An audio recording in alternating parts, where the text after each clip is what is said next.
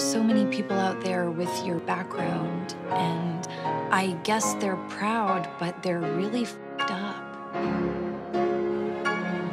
What fascinated me about the Romanovs was sort of a combination of their incredibly violent demise, their uh, autocratic rule, the fact that they were reluctant in a way to even be in charge, and that we are interested in them, even though they were dictators and really not particularly great people, even though you get to see both sides of the story because there's a mother and a father, and there's children, and there's a sick child, and and there's world history. So I was interested in them both as a cr true crime story, but what really interested me is that for some reason or other, because there's a mystery to their disappearance, this is one of the myths of the world.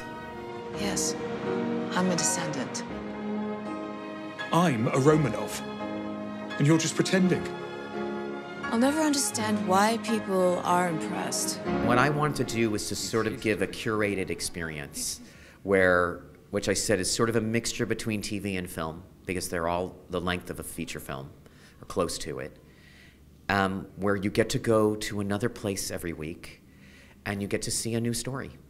And you never have to catch up, and you can watch them in any order, and they'll come out weekly so you can talk to your friends about them. And, you know, for me, this is very, very old fashioned TV, believe it or not. I think that royal blood dilutes over time, but the poison survives.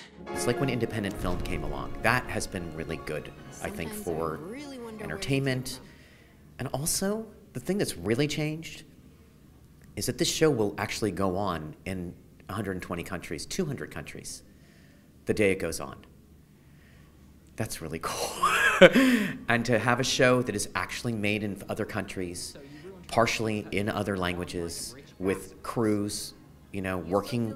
I met thousands of people. I mean, the show was not about my experience, obviously, but I think that you feel that in the show. You feel that it's being made where it is. You can feel that the people are French or German or Czech or, you know, live in Hong Kong and all the different kinds of people that are there. And the great thing about the Romanov part of it is these people are all over the world, just like we are. To the prince and princess. Na zdrowie.